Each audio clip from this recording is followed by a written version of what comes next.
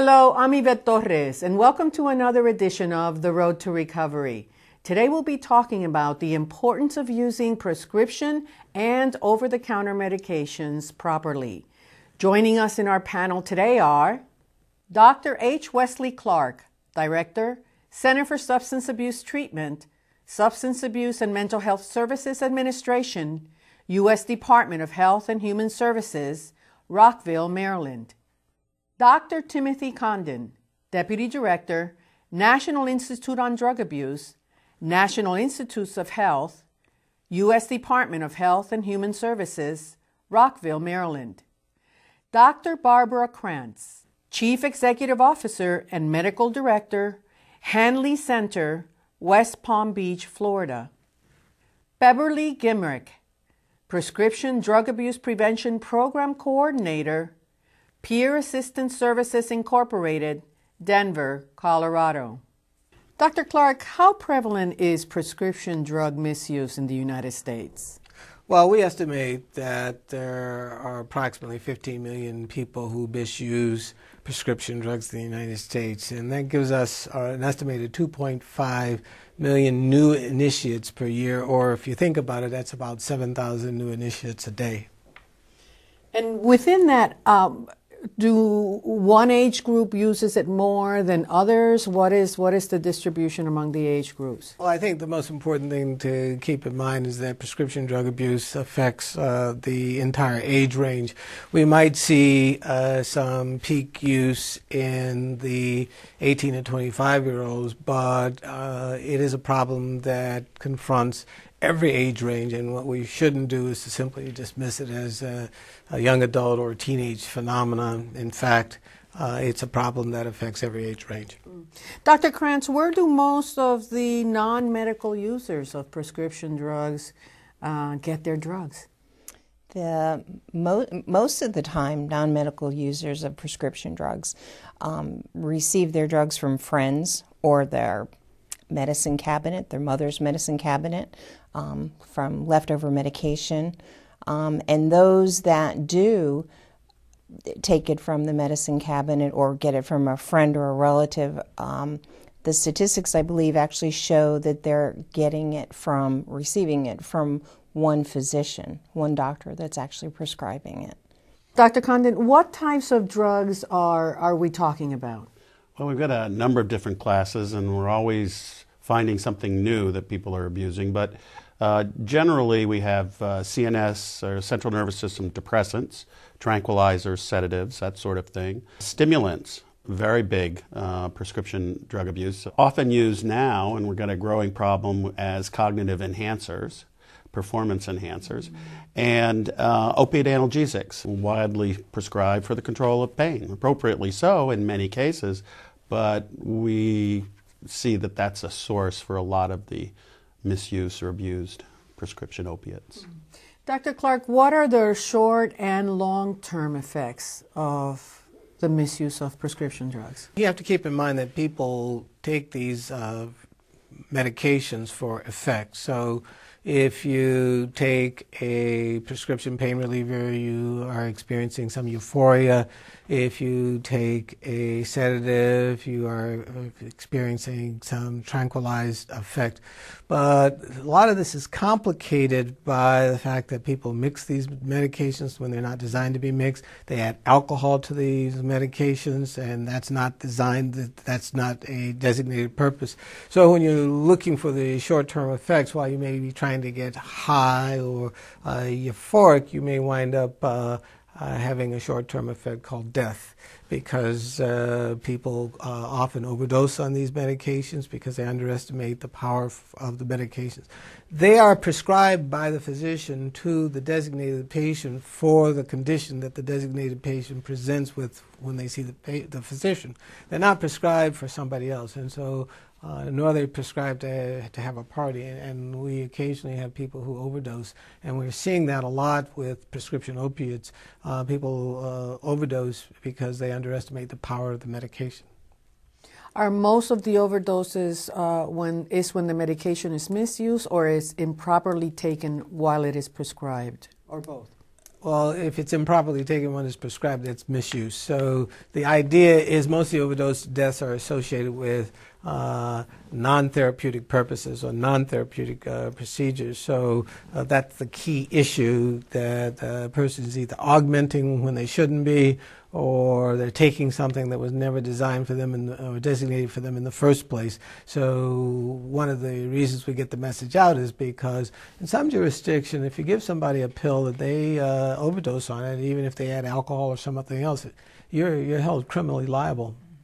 So not only are you you contribute to somebody else's uh, death or hospitalization, you can be held criminally liable. I think that's a really important point that most people don't understand is we know a lot of adults share their medications out there and they don't understand there can be legal repercussions from that, not to mention the, the physical. I mean, that's something that people are not aware of. This can be deadly, and not only is it deadly, it can be just as illegal as sharing uh, illicit medications as well. So, and, and that's a point that the general public doesn't seem to understand very well. That that brings me to another point because the when we treat older adults in, in, our facility. And the problem is when the client comes in, the patient comes in, they're probably on about four to five different prescription medications. So the drug drug interaction of the prescription medications, and they may be seeing different um, specialists, like they're seeing a cardiologist, a urologist, a family practitioner. None of them are, are talking to each other. So the drug drug interactions and the potential for um, the morbidity or, or mortality that Dr. Clark was talking about is extremely high. Um, you know, just because it's a prescription drug doesn't mean that it's a safe drug. Um, and, and I think we're, you know, you add over the counter medications and other medicines or herbal medications to that. Um, and we're seeing a very serious problem with prescription drug abuse. One of the things also um, that just was touched upon is that um, individuals at different age groups, and we know this from the uh, from pharmacology, they metabolize the drugs, uh, medications, drugs differently, and uh, a dose that was tested in a young adult, let's say, uh, for a particular purpose, may not be metabolized the same way by an elderly person. In fact, it's unlikely that it is. So the same dose may have and uh, a very different effect. And that's where this combination or drug drug interaction actually comes in. And oftentimes we do see, unfortunately, the headlines when it's somebody who's a star or a celebrity, but uh, that's where a lot of this is coming. I recall that um, a few years back, I, I, would say around four or five years ago at CSAC, we did do the right dose for the uh, 65 and over. We had two. We had the 50 to 65 because we thought that they would not identify with a picture of an older uh, adult. And then we did the 65 and over, and we worked with FDA. And in one particular thing that you said, Dr. Krantz, was the use and the mixing of it with alcohol, which is absolutely uh, tragic. Right, and I think that they think that brings us back to it's extremely important to educate the patient, to educate the physicians, and to educate the patients uh, regarding the, the use of the medication. Um, and I think with prescription drug medications, like Dr. Condon was saying also, is that as, as people age, the normal physiological changes that occur with aging, um, the drug itself, because there's a, a volume distribution, um, the drug itself has more impact on the body. So that needs to be taken into consideration also um, as far as education. I think one of the things that we also want to establish here is that um, prescription drugs, if taken properly, are beneficial. You know, I, I, I think, um, uh, it, it, but that really leads to the fact that, uh, that they can see the benefit. Why might people believe then that prescription drugs uh, are not dangerous or, or addictive? Well, I think there's a myth. If it's good for Dr. Condon, then it's good for me. And uh, so he takes it, then, gee, well, I can take it. Uh, but Dr. Condon would have had it uh, prescribed by a physician for the purpose of the designated purpose. I, on the other hand, don't have that issue, so I take it, and boom, I get uh, an overdose. Uh, or somebody else is taking the medication for a period of time and uh, they take that dose and nothing happens. I take the same dose and boom, I'm out. Uh, we also have to keep in mind driving while under the influence. Uh, I take that dose, and the next thing I know, I'm woozy. I get behind the wheel of a car and I hurt somebody, uh, if not just myself. So the key issue is the other person for whom it's designated doesn't have that experience, and so they, you know, it's safe for them. Uh, I can bring that to a personal level also um, with prescription um, medication is that back in 1981, I had migraine headaches and was prescribed a narcotic, an opiate, uh, specifically Demerol, and started taking the medication. And as you continue, potentially, if as you continue taking the medication, when we look at the disease of addiction, um, there's a progression. It's a chronic disease. We go from use to abuse to dependence. So then, as I started taking more of the medication, I actually became dependent on a prescription drug. So for me, it wasn't safe anymore. And quite honestly, I didn't understand what was going on. I knew that there was a problem, I knew that I was in trouble, but I didn't understand. When we come back, I want to come back to you, Dr. Krantz, to talk a little bit more about this. And then we're going to talk about another set of medications, which are over the counter medications, which are also uh, uh, on the rise in terms of its misuse. We'll be right back.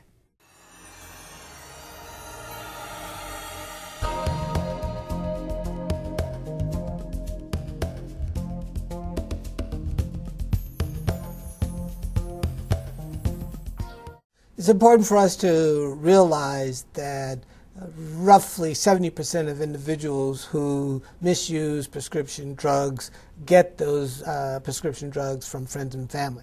55% get them free from friends and family. Another 15% either buy them from friends and family or steal them from, friends and family. So the key issue is that what we have to do is influence uh, our communities. It's a cultural issue. I influence our communities to get people to understand that once you're finished with a prescription drug, or if you need the prescription drugs on an ongoing basis, you do not share them with individuals for whom the prescription was not written. When you have a drug or alcohol problem, your whole world stops making sense. You can get help for yourself or a loved one and make sense of life again. For information, treatment referral, and most importantly, help, call 1 800 662 HELP. Brought to you by the U.S. Department of Health and Human Services. People who suffer from drug or alcohol addiction sometimes say hurtful things. They drive the people who love them most away if you know someone who suffers from drug or alcohol addiction, listen. Try to hear what they are really saying. Know that there is hope and help them find their voice again. For drug or alcohol treatment referral for you or someone you know, call 1 800 662 HELP. Brought to you by the U.S. Department of Health and Human Services.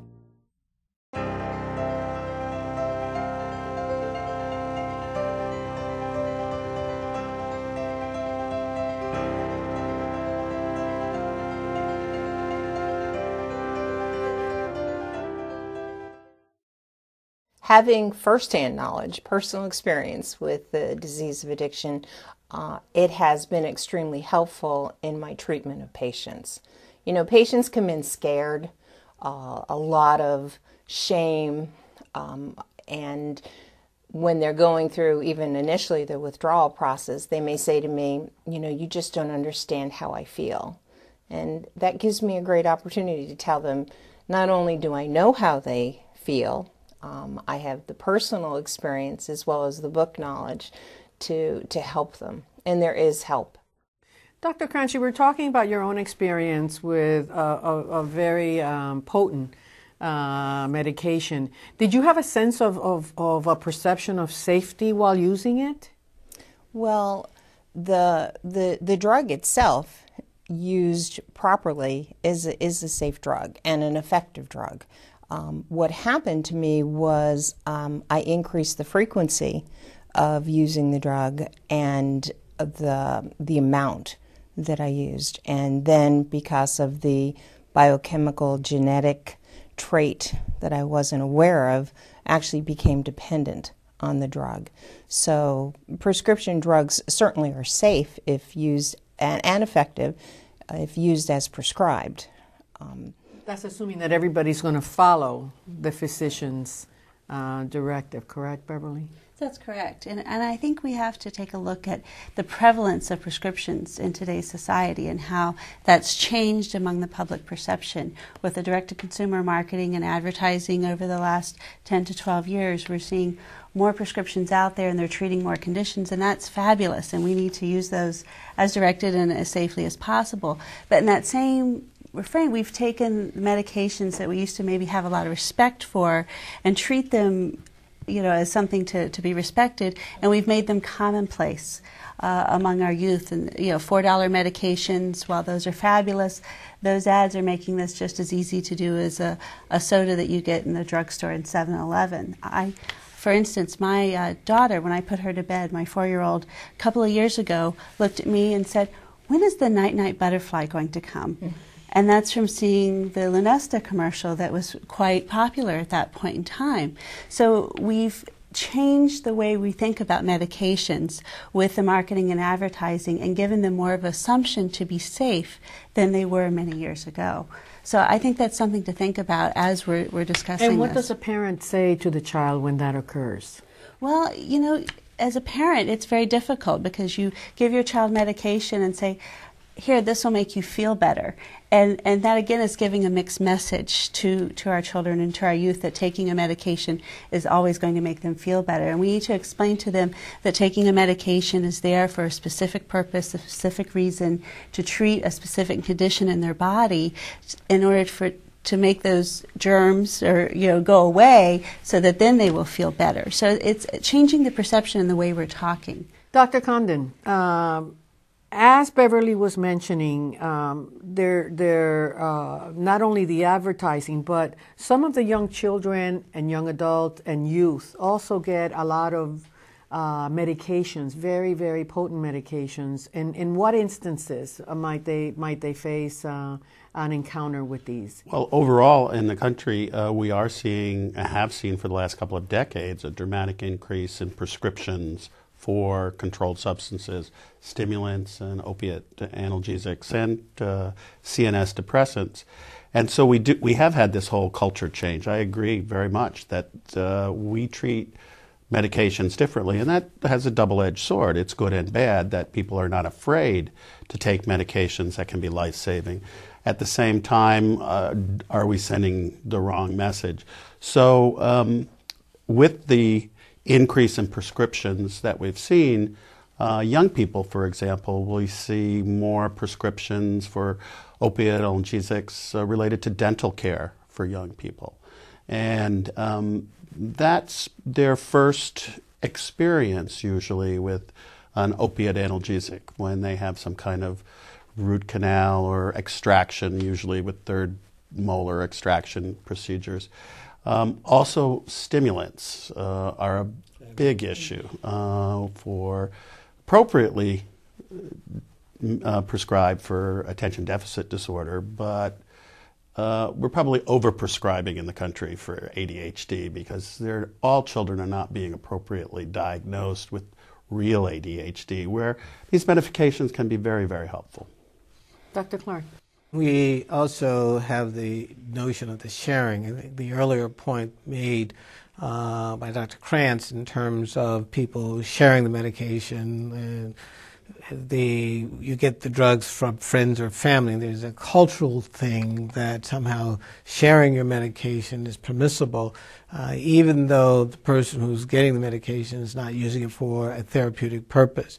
Uh, when you add the number of people who get it free from friends and family, plus the ones they, who take it from the medicine cabinet or who buy it from friends and family, it's 70%. So we, we are talking here a cultural phenomenon. I mean, we know about the internet. It turns out there are minority people get their drugs from the internet. We know about drug dealers. It turns out a minority of the people get their drugs from drug dealers. We know about doctors who are uh, not acting in, in, in good form, uh, but a minority of people get their drugs from those. So in the aggregate, only 30% of the misuse of prescription drugs comes from, shall we say, deviant situations.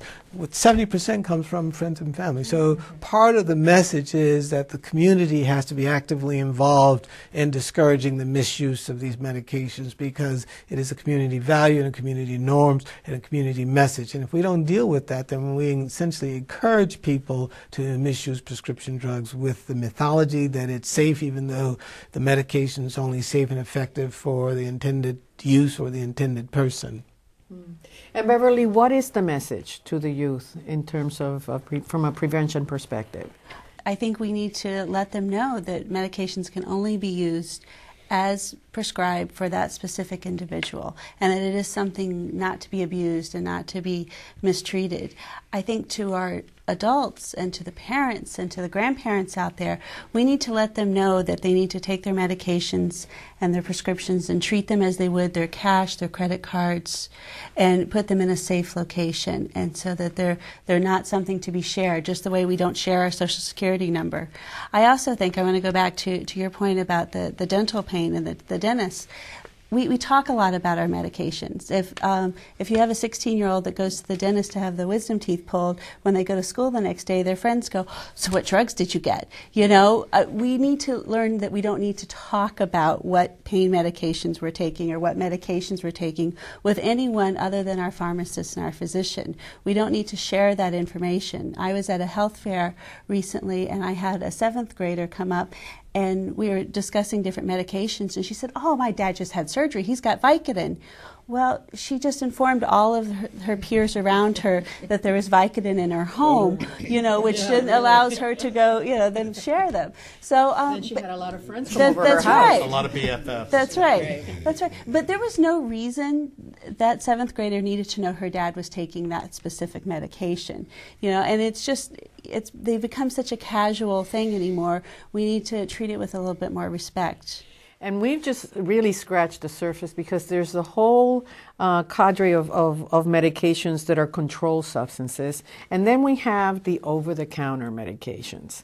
And we know that also the, the over the counter abuse in the United States is, is quite prevalent, right, Dr. Clark? Well, we know that they're uh, common. Uh, we collect data. I think Tim can speak to the uh, specific data for the age range, particularly uh, our young people will abuse drugs uh, that contain uh, cough suppressants like dextromethorphan. There are a host of other drugs containing phenylpropylamine, diuretics, laxatives, particularly young girls who are struggling with body image, drugs that cause emesis, throwing up. Uh, but the drugs that uh, contain dextromethorphan are used to uh, get a buzz on. They also also also contain alcohol at times, so kids take uh, um, multiple doses instead of the therapeutic dose.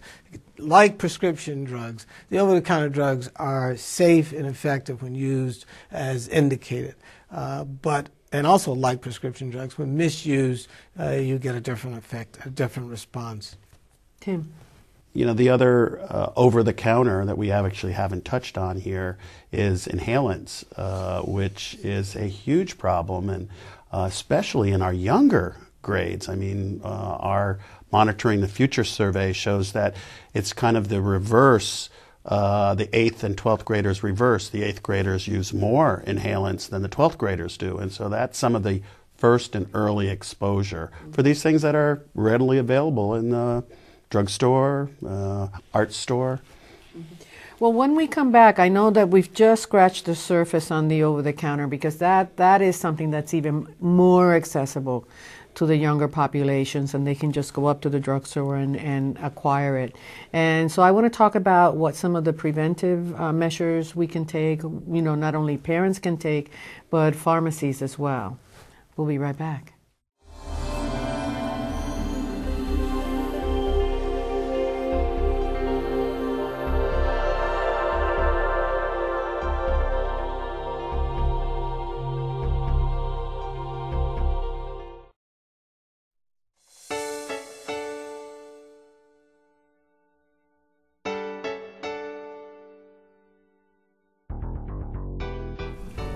It's important to be familiar with the proper terminology surrounding addiction and recovery. One of the terms you'll want to be familiar with is substance use disorder. Substance use disorders involve the dependence on or abuse of alcohol and or drugs, including the non-medical use of prescription drugs. For more information on this and other recovery jargon, visit the Recovery Month website.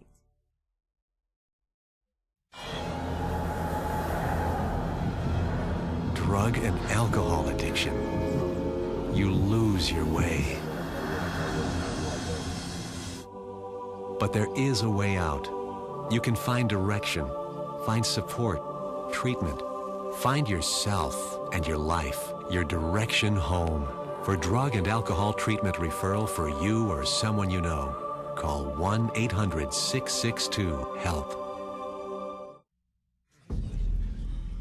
If someone you love has a problem with drugs and alcohol, He's not expecting this. Yeah, but it's the right thing. there is something you can do. You think he'll be okay with this? Shh. Here he comes. Congratulations! You can celebrate his recovery every chance you get. For drug and alcohol treatment referral for you or someone you know, call 1 800 662 HELP.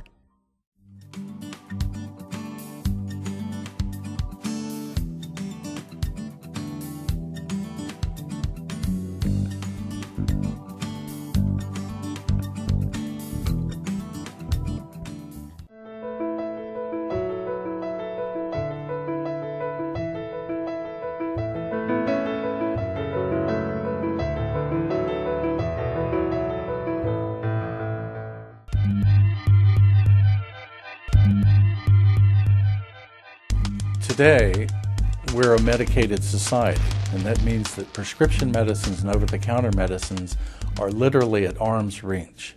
In fact, people ages 65 and older in, in any given year are filling more than 30 different prescriptions.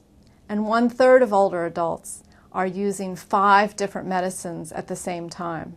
The mission of the National Council on Patient Information and Education, NCPI, is to stimulate and improve communication of information on safe and appropriate medicine use to the general public and healthcare professionals. Thank you for inviting uh, the National Council on Patient Information and Education, NCPI. That's how I'm going to refer to us today. One of our key programs right now is called the Teen Influencer Program. The, the full title is Maximizing Your Role as a Teen Influencer What You Can Do to Prevent Teen Prescription Drug Abuse. That program enables adults in the community to access and download and then use for community outreach purposes a whole range of materials to help get the word out in a consistent way about prevention and treatment options related to teen prescription drug abuse. As medication use becomes more prevalent in our society for all ages, so too becomes the need to improve the communication about those medicines between the clinicians, the doctors, the pharmacists, other prescribers, and the patient, and their support network. SAMHSA has been a tremendous resource support to NCPI. They've provided resources and also the intellectual information and data that have enabled NCPI to develop resource materials such as our Teen Influencer Program, materials that are available for the community and for teens and parents. NCPI makes sure that it embeds in all of its messages and materials information for the general public, for adults and teens about where they can seek out treatment information, including, for example, SAMHSA's hotline and their treatment locator. All the wonderful resources that we have, whether they're at AARP or the National Council on Patient Information and Education, all come down to helping people get the most value from their medicines.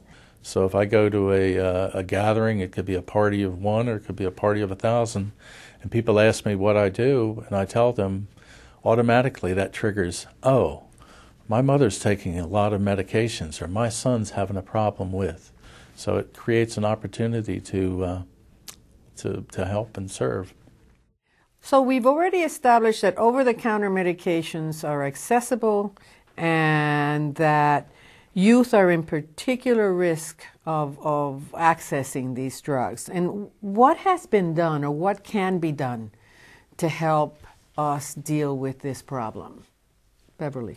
We need to make sure parents are aware that this is really an issue and a concern for their youth and that we have community groups and schools and uh, different organizations bring that up because I think parents, it's kind of under their radar. They're looking for illicit drugs, they're kind of thinking about that and watching for their children, but they're not paying attention to the packages of cough syrup coming into the house or the, the different things they might find around or, or, or maybe uh, different um, shopping expeditions that their children are taking to the drugstores. And they can work with their local community pharmacies too to sort of increase that awareness and make people more aware that this is a prevalent issue and it is a problem. I, and I think it's getting on parents' radar will help a great deal in that respect. We want to keep parents aware that just because, again, it's on the aisle doesn't mean that if it's misused, it's safe. For instance, between 1999 and 2004, there's a sevenfold increase in overdose due to over the counter uh, cough medications. Uh, and most of those overdoses occur in the 15 to 16 year age range. So, what we're talking about, we're talking about. Uh, the uh, young children and the family's uh, household. And when you asked uh, how much they took, it turns out that instead of taking uh, one or two teaspoons or tablespoons of medications, uh, our, our, young people are taking 25 to 50 times the recommended therapeutic dose, which is clearly not what the uh, pharmaceutical company intended. So it's a, it's an important thing to keep in mind that the age range that we're concerned about is everyone, but uh, particularly our young people, when they take so much and they risk uh, complications. Overdoses is a very real complication. And I think that we need to be very cognizant of the fact that the a parent speaking to their their teenager um, is is extremely impactful. Um, research states that the more um, understanding and education that the youth gets from the parent, the less likely that they're going to use the over the counter medications as, you know, thrill seeking or, um, you know, get into trouble that way. So, parent parental education and information to their teenagers is extremely important in prevention. Beverly, you wanted to ask something? Yes, I did. I want to. Um, I think we need to not stockpile our medications as well. So uh, parents can track how much cough syrup is in the house at any given time. You know, if, if you get to a point where the, the cold, the flu is gone, then throw that bottle away and then buy a new bottle when it comes in the next time. So that way they can track and, and kind of keep an eye on, on, what the medication levels are there in the house. We, we teach our parents to uh, childproof their homes for toddlers, but we haven't really talked to them about doing the same types of things for, for their teens as well. Well, one of the things in terms of, of uh, if you can't, if you have to stockpile, keep the medication under lock and key. That's an alternative. Right. The reason I mention that because we also have to think about our rural citizens who have to travel long distances, uh, and that gets to be a problem. Or in communities like in uh, northern Alaska where uh, everything has to be flown in. So if we, you have to stockpile, you stockpile under lock and key, and you uh, keep the, uh, an eye on what's going on in that cabinet. Or a family may simply not be able to afford. I mean, if they don't have a lot of money, I mean, you, you really wouldn't want to throw something out. But as Dr. Clark mentioned, you really need, and you did as well, you really do need to keep track of it. Dr. Condon? I think uh, Dr. Clark's point is right on. A medicine cabinet in 2009 has a different connotation than it did with my parents' generation. And back then, it was where you kept the medicines that were very, you know, you mentioned the word we needed to respect them. But as the culture has changed with supplements and advertisements, and yes, we encourage people to get medications for their ailments, and we have many more life saving medications available when appropriately.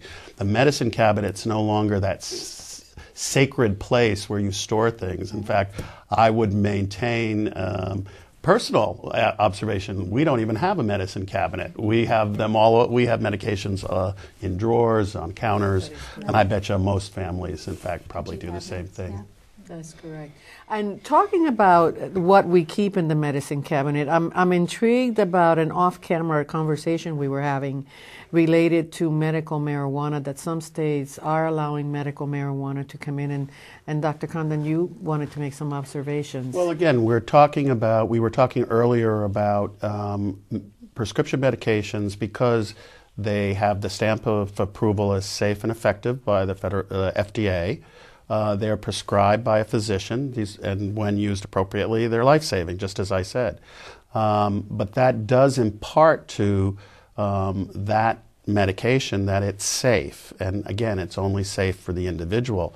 Um, but that's, that stamp of approval is, I think, contributing to our young people saying, well, it's safe for somebody else or it's safe for my parents.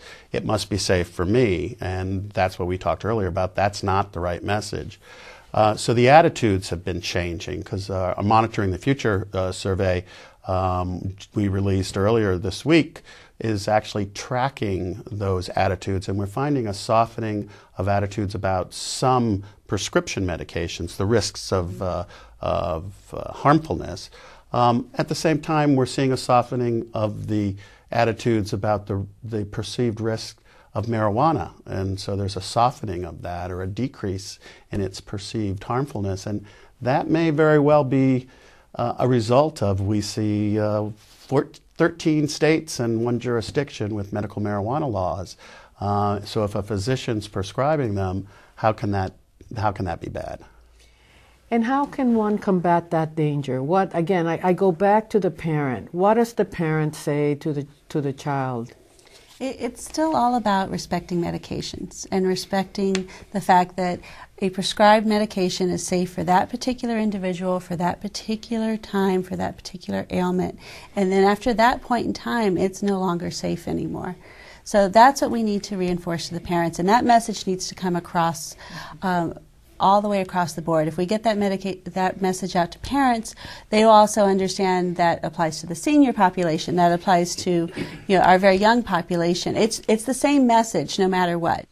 We've talked a lot about the problem. I want to start now a little bit uh, diving into some of the solutions. And, and Dr. Krantz, particularly with the older Americans, um, and, and, and please note to let us know when one becomes older so that people can self identify, uh, because we are quite the young generation of older Americans that we're facing. I know I'll never start use, stop using jeans or, or, or thinking that I'm, I'm older, for heaven's sakes, but I, indeed I am. And so I want you to address that, that issue. What, what do uh, the senior uh, need to be uh, particularly cognizant of? And if they run into trouble, uh, what type of programs are available? Well, at, at, at Hanley Center, we have a prevention program called Aging to Perfection. And actually, our older adult unit, um, to answer your question, when you become old, um, is 55 and above. So I qualify for the older adult program go. now. um, but what our Aging Prevent to Perfection program actually addresses is um, helping the the older adult. Um, first of all, you know, simple things. Write down the prescriptions that they're taking when they go to the doctor. Um, because again, they're getting multiple prescriptions from different physicians, and there are drug drug interactions that potentially can be lethal to them. So, writing them down, understanding, you know, asking questions, um, throwing away their medication when it's when they're finished, not saving it. And and that's a hard thing in today's economy, you know, not saving the medication. So there's a list of prevention uh, uh, techniques um, that we teach the older adults so that they can use their medication in a more safe um, and effective manner. I wanted to uh, echo, echo, that. I think um, we, for our uh, older uh, citizens, um, you know, their medications are oftentimes received uh, via the mail or they're standing in a long line in a retail pharmacy. Mm-hmm. So to ask questions is something that we just want to get out of it. And they, we really need to really get the message out that there is a, a, a professional there, a pharmacist. There's usually a little window where you can have a consultation, and they will take the time to talk to uh, individuals about drug interactions, about uh, doses, and let them understand rather than it just being a essentially a retail operation. Let me go to Dr. Clark and ask him as a physician. Um, does the physician ha- bear some responsibility to explain to their patients what they're getting and, and, and how to use it? Well, as Dr. Krantz would note, yes, the physician does, but again, in a, a period when uh, you've got multiple medications, sometimes from multiple practitioners. That's not as uh, easily, that's more easily said than done. But one of the things you can do is you go to a single pharmacy, and in the era of electronic records and electronic prescribing, uh, it's a lot easier for that single pharmacy to have their computer programs uh, acknowledge when there are potential uh, conflicts or adverse reactions. Uh, there are uh, delivery models like medical homes where uh, you've got one entity that is the repository of all your medical information. So if there's a red flag, that can be easily tracked. Uh, uh, when you get into the Medicare age range, uh, through e-prescribing, uh, again, there are, it's a lot easier to track the records. So we're moving in the direction of having personal health uh, records and, and uh, electronic medical or electronic health records where the computers can play a role. But as Dr. Condon pointed out, the senior themselves should understand with multiple medications, it's possible to have these conflicts, as Dr. Krantz pointed out, and you should ask. And if you ask, um, the pharmacist will take the time to discuss these matters with you. When we come back, I want to continue a little bit on this subject because I think there's a lot left unsaid still. We'll be right back. For more information on National Alcohol and Drug Addiction Recovery Month, events in your town, and how you can get involved, visit the Recovery Month website at recoverymonth.gov. They tell me I was there, but I don't remember. I don't know where I really was. I do not know what I had for breakfast. I do not know who won the game. I don't recognize this man. If you or someone you know is struggling with a drug or alcohol problem, there is a solution. Recovery. Call 1 800 662 HELP for information and for hope. Through treatment, my life's a whole lot brighter now. Brought to you by the U.S. Department of Health and Human Services. People trapped by drug or alcohol addiction often feel like there's no hope, no way out. But for every lock, there's a key. And if you have a problem, it's good to know there are real solutions to help you get free. For drug or alcohol treatment referral for you or someone you know, call 1 800 662 HELP. Brought to you by the U.S. Department of Health and Human Services.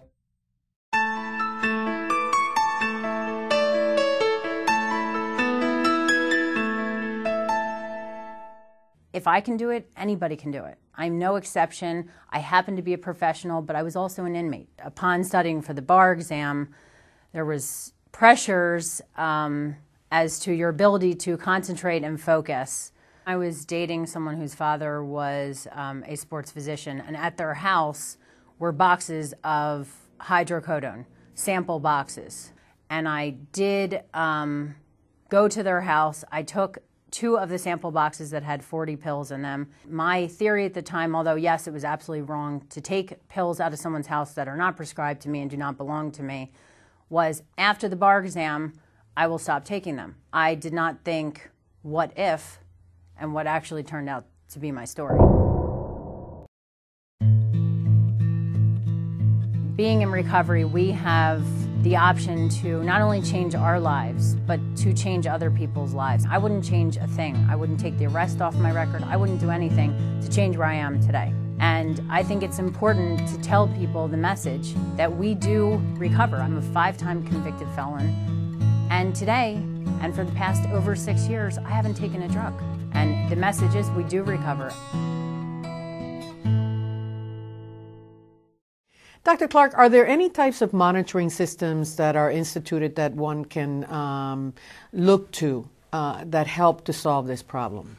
Well, uh, there are different types of monitoring programs. One of the ones that we at the Substance Abuse Mental Health Services Administration use and, and in conjunction with the Department of Justice are what's called prescription monitoring programs. And these are programs that monitor at the pharmacy level uh, the use of prescription opiates and other scheduled drugs, and we're able to determine whether a physician is misprescribing or a patient is presenting in multiple systems if they use the same uh, uh, ID numbers, so that we can uh, address that. But there are other prescription strategies, and Dr. Krantz was talking about one. Correct. Um, the one that has been helpful to me as a family practitioner is when I get the message from the pharmacy um, that did I realize that this particular patient was also taking this, this, and this drug. So that prescription monitoring program has been extremely helpful. The other thing I think we need to be mindful of with prescriptions, especially if we're talking about older adults, is that most of them can't read the directions on the prescription bottle. So again, speak as Dr. Condon had said, speaking with the pharmacist, speaking with their primary care physician is extremely important in understanding how to take the medication. And Dr. Condon, I mean, I think um, older Americans sometimes are afraid to ask, afraid to inquire. Uh, why should be, you know, I mean, let's let's emphasize again uh, the the reasons why they should do this. Well, again, um, we know that uh, they're receiving more prescriptions than the last generation of uh, elderly adults in the United States. And uh, I think we even have a graph uh, showing the number of prescriptions on how they've gone up in the United States. Um, we also know that most prescription, most medications are tested in clinical trials, not using older adults, but using middle aged people or younger, uh, healthy individuals, or uh, if there's a chronic illness, uh, not necessarily for children and not necessarily for seniors. And their metabolism, their pharmacokinetics, as we say, change dramatically uh, as we age and as we get uh, larger, as we put on weight, as we lose weight, uh, all of those factors. So, um, yes, maybe seniors are reluctant to ask the pharmacist. I th- I think the pharmacists are a key here because um, in uh, just my personal experience in a retail pharmacy, actually one of the things that they really enjoy, and it's one of the reasons they became pharmacists, is to counsel patients and to let them and to share the knowledge that they have rather than just arguing with insurance companies over the phone. Mm-hmm. Beverly. Yes, in regard to our seniors, again, I want to point out that as far as the pharmacist is concerned, we can go back to the pharmacist and ask questions later on. They are there for us to, to make use of, and they enjoy doing that, like you were, you were speaking of earlier. Uh, don't be afraid that once you've got your prescription and walk away, that you can't come back the next day and ask questions of the pharmacist when you've looked at things a little bit more and looked at your other medications. And when it comes to our senior population, they have a lot of prescriptions, a lot of bottles lying around. We again want to encourage them to safeguard their medications because they may not be aware that maybe their grandchildren or friends of their grandchildren might come in and be shopping for medications, or even some of the repair people coming in their homes uh, might be looking for medications. They might not be using them, but they know they're valuable and they might be interested in, in taking those to, to resell later on. So it's all about safeguarding those medications and making people more aware. The pharmacist is there to help them store your medication safely, use them properly. You know, it, it's some very basic principles that we need to get the messages out about. We had spoken uh, earlier about some of the practices of people sharing their prescription, correct, Dr. Krantz? Uh, correct. And uh, what? How do we feel about that? Well, prescriptions are not uh, written to be shared. First of all, I mean, it's extremely important to use your own prescription. And that's, I mean, we, Dr. Clark uh, talked about the statistics even of the teenagers, the youth, you know, uh, 12 to 25 that are using um, prescription drugs that are from a relative or a friend. I mean, it's a, it's a significant problem in the United States today. Beverly, talk to us about your programs. Sure. In Colorado, we started a new campaign called RX Drugs Not Safe, Not Yours. Org is the, the website on that. And it's a resource for parents, students, educators. Uh, they can go there and find different connections to materials that patients can learn how to dispose of their medications properly. Uh, students can learn what to do if they think some of their friends are starting to have issues with drugs. Parents can go there to find other resources as well on how to address that issue within their home. The issue of getting help. We've talked about a lot about the what are the parameters of the problem, who are the targeted populations that, that, that are at risk. But if I've got a prescription misuse problem, Dr. Clark, uh, what types of uh, programs should I seek in terms of treatment? Well, you should uh, first, uh, we want to make sure that you're talking to your uh, practitioner.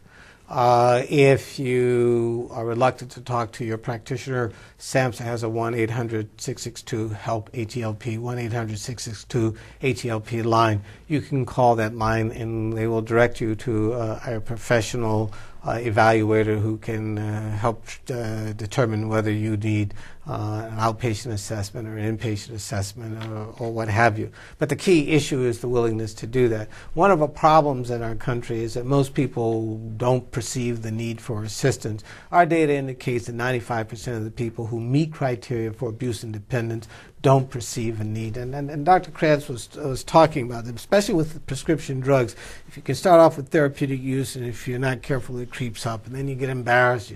If you're older or you, it's a lark. If you're younger, nevertheless, it's the problem. So we encourage people to recognize that the misuse of prescription drugs is, very dangerous uh, immediately to your health and potentially to other people. So you should uh, call 1 800 662 HELP. You should talk to your practitioner, or you can talk to someone uh, who is uh, medically sophisticated enough to assist you in finding the appropriate place. And as Dr. Clark was speaking, um, he's absolutely correct in the sense that one of the barriers to the treatment of this disease is the stigma where where the people don't understand it as a disease. You know uh, addiction is just as much a disease as diabetes cancer heart disease. We need to look at it that way. We need to have access to care and access to treatment. Um, because treating the disease um, changes the whole person's life in your own case, Dr. Krantz, mm-hmm. what was your aha moment where you realized that you really needed help? My aha moment was when I thought I continued to have headaches, was taking the opioid, the uh, uh, medication, and it, it wasn't getting better. And I came to the conclusion that probably, maybe I'm crazy um, because I tried to stop stopped but couldn't stay stopped, didn't understand, was not even in medical school, I was not given the education or the amount of education that I needed to understand that chemical dependency, addiction, um, is a disease, and through the use and abuse of a, an addictive substance, that the disease can kick in. So, again, that barrier that I had to deal with was the shame and the guilt and the um, the stigma of being labeled a, a drug addict, um, where I, I, had no understanding. So when I walked into treatment, I thought, well, this is good because they'll give me a pill um, to help me because obviously I'm crazy. I'm doing things I would never do. I'm taking more medication. I'm a physician. I understand that I shouldn't be doing this. Um, and then they said to me, No, you have the disease of chemical dependency. And then through the education and understanding of that, I was able to get help and, and be in recovery since 1981. And I'm sure you're not the only one. I mean, there's a whole television show on HBO, uh, right. Nurse Betty, uh, Dr. Clark, that we see her constantly taking. Uh, medication just to keep herself going because of all the stressors in life. Um, should people in the medical profession be particularly aware of, of these um, challenges? I think the whole community, none of us is made out of steel and stone. Uh, medical professionals, because of their unique knowledge, whether it's a pharmacist or dentist or physician, uh, can deceive themselves through their unique knowledge. Uh, and we've had some uh, terrible events where people with unique knowledge, even recently, have uh, uh overdosed and died uh, or had uh, severe reactions. The key issue is that everyone should be aware that a, an addiction is a disease that can occur to anybody. It doesn't matter your social class, doesn't matter your information, how much knowledge you have. It is the misuse of the medication. And the first sign should be if I'm using the medication more often than it was prescribed, or if I'm seeking out medication that was never prescribed for me in the first place. So for our young people, uh, well, we want to ha- have fun, and defining fun as the misuse of, uh, prescription drugs or over-the-counter drugs, uh, that's not a fun. That's Russian roulette, and so uh, we want to uh, encourage people to recognize that. Dr. Condon, final thoughts. Safe and effective medications as prescribed for you. That's the message that we have to reinforce with the parents, the young people, and our healthcare professionals uh, so that they can reinforce it too. Beverly. Store your medications like you would your credit card, your social security number, your cash. Keep them safe and treat them as valuables. Dr. Krantz if you recognize that you're taking medications more frequently or in um, uh, a higher or longer duration, um, that there is help out there for you.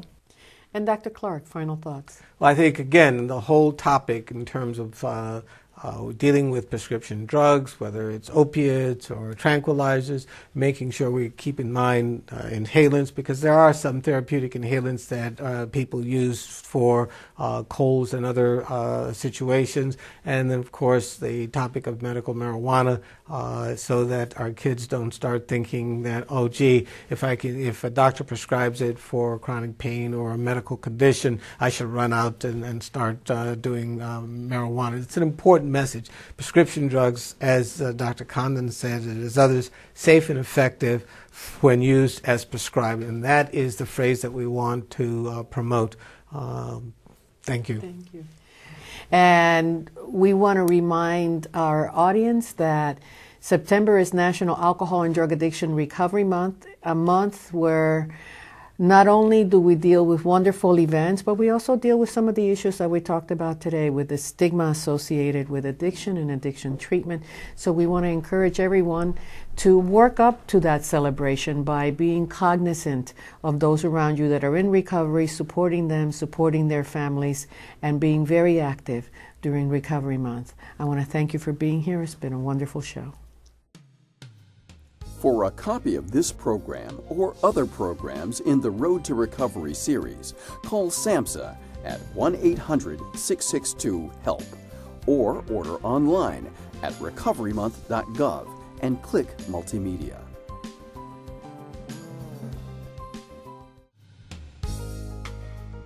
Every September, National Alcohol and Drug Addiction Recovery Month provides an opportunity for communities like yours to raise awareness of alcohol and drug use disorders and highlight the effectiveness of treatment.